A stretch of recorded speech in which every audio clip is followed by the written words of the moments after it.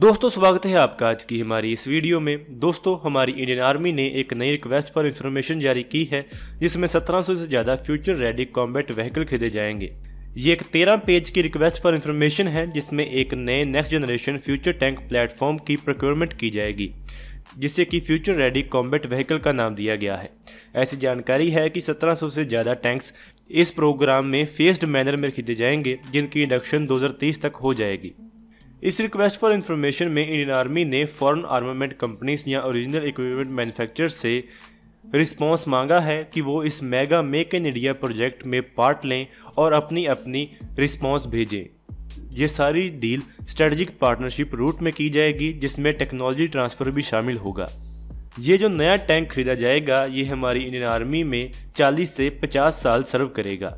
ये Indian army का एक नया मेन बैटल टैंक होगा, ये हमारी फ्लीट में मौजूद टी सेवेंटी टू टैंक्स को रिप्लेस करेगा। इंडियन आर्मी ने इस नए फ्यूचर रेडी कॉम्बैट व्हीकल के लिए कुछ कुछ रिक्वायरमेंट्स बताई हैं, जिसके बारे में अभी हम बात करेंगे।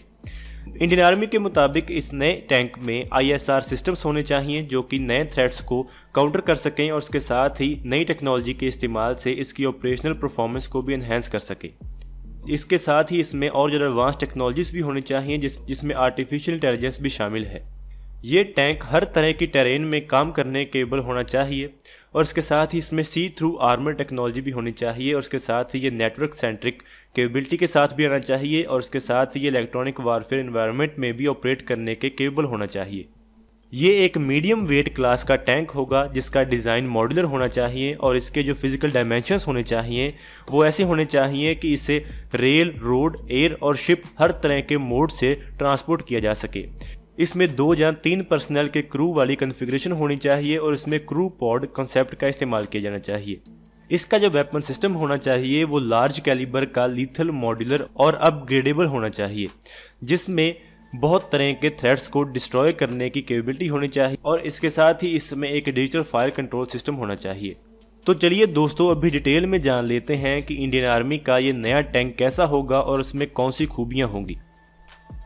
इंडियन आर्मी चाहती है कि एक state of the art main battle tank बनाया जाए, जिसको अब फ्यूचर रेडी कॉम्बैट व्हीकल का नाम दिया गया है।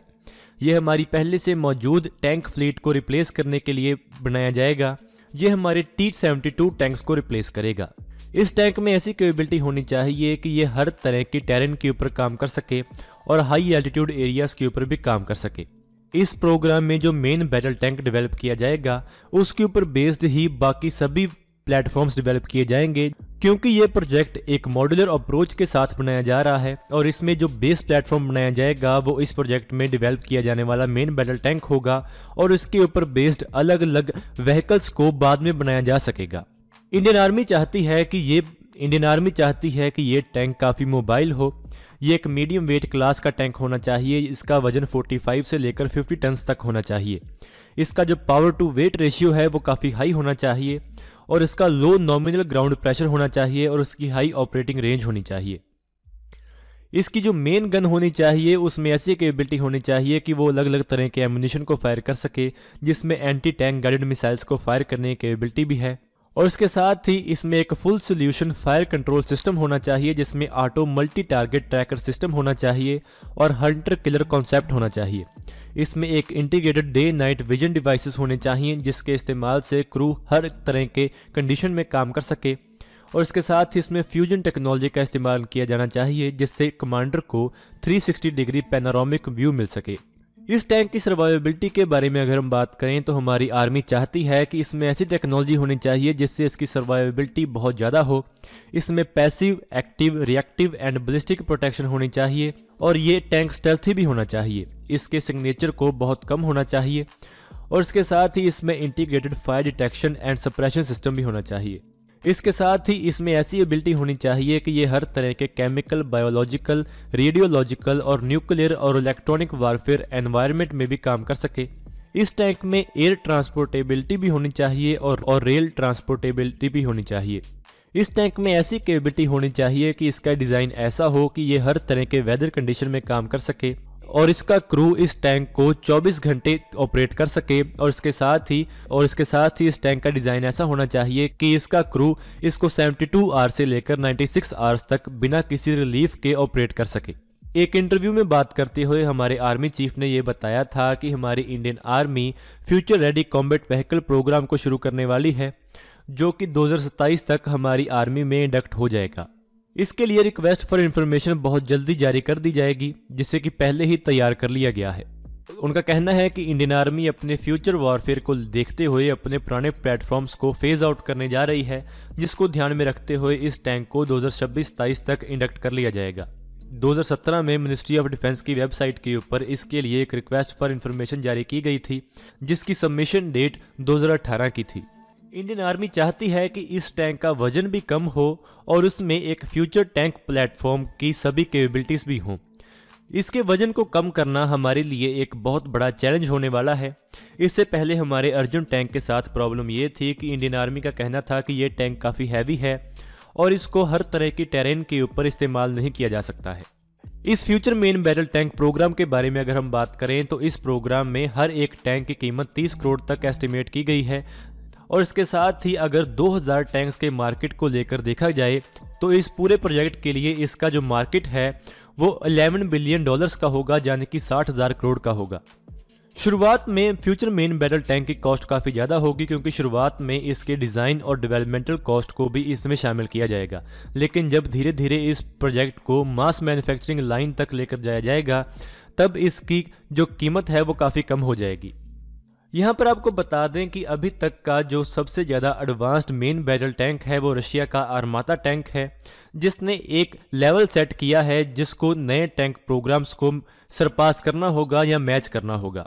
हमारी इंडियन आर्मी भी ऐसे प्रोजेक्ट से बहुत ज़्यादा इम्प्रेस्ड है और ऐसी रिपोर्ट्स थी कि हमारी आर्मी आर्माता टैंक को खरीदना चाहती है। लेकिन इसके बाद ऐसी कोई भी रिपोर्ट नहीं आई है कि हमारी आर्मी आर्मादा टैंक को खरीदना चाहती है या नहीं।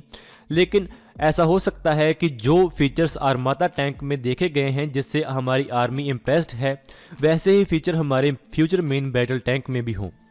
हमारे फ्यूचर मेन बैटल टैंक के जैसे ही रशिया का आर्माता टैंक एक मॉड्यूलर कॉम्बैट प्लेटफॉर्म है, जो कि अलग आर्मर्ड वेरिएंट्स के लिए भी एक बेसिस के तौर पर काम कर सकता है।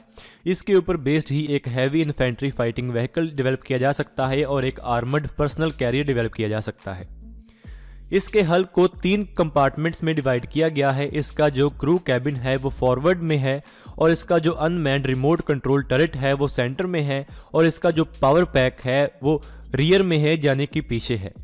जो ड्राइवर है, वो लेफ़्ट पर बैठता है और जो गनर है, वो मिडिल में बैठता है और जो कमांडर है, वो राइट पर बैठता है। इस टैंक के टरेट के रूफ के ऊपर एक मीटियोलॉजिकल मास्ट है, एक सैटेलाइट कम्युनिकेशन सिस्टम है ग्लोबल नेविगेशन सैटेलाइट सिस्टम है और डाटा लिंक और रेडियो कम्युनिकेशन एंटीने हैं। इस टैंक में मॉड्यूलर आर्मर सिस्टम का इस्तेमाल किया गया है, जो कि स्टील सैरामिक्स और कंपोजिट मटेरियल से बनाया गया है।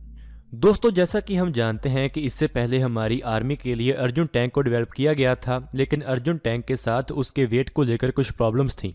अर्जुन टैंक को लिमिटेड नंबर्स में इंडक्ट कर लिया गया है, लेकिन इसका एक improved variant Arjun mark one A बनाया गया है।